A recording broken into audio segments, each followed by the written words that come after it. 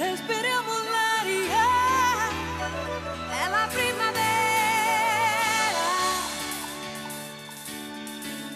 è la primavera,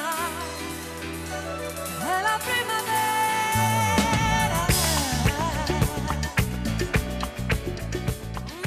L'arrivo della primavera, le erbe infestanti sono tornate a farla da padrone. In ogni angolo della città, non solo i cigli delle strade, ma anche le piazzole e le rotatorie sono invase da erbacce, una situazione che andrà a peggiorare nel periodo estivo, qualora non si procederà alle operazioni di potatura e diserbamento.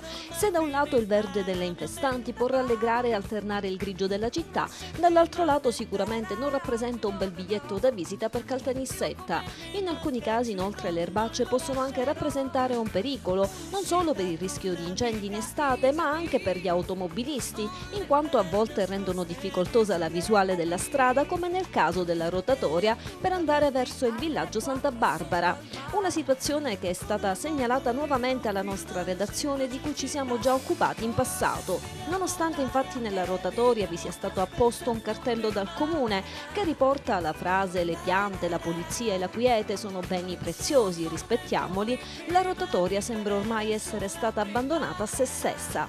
Stessa situazione nel villaggio Santa Barbara dove la piazzetta delle Solfare e piazza Gessolungo sono state lasciate all'incuria, così come ci è stato segnalato da Vincenzo Lunetta, presidente dell'associazione di volontariato Arot. Questa non è l'unica piazzetta a villaggio Santa Barbara, la quale vediamo tutta questa erbaccia con zecche e via di seguito dove i ragazzi non possono neanche giocare e le famiglie non possono usufruire neanche delle panchine per stare un po' insieme per far giocare i bambini.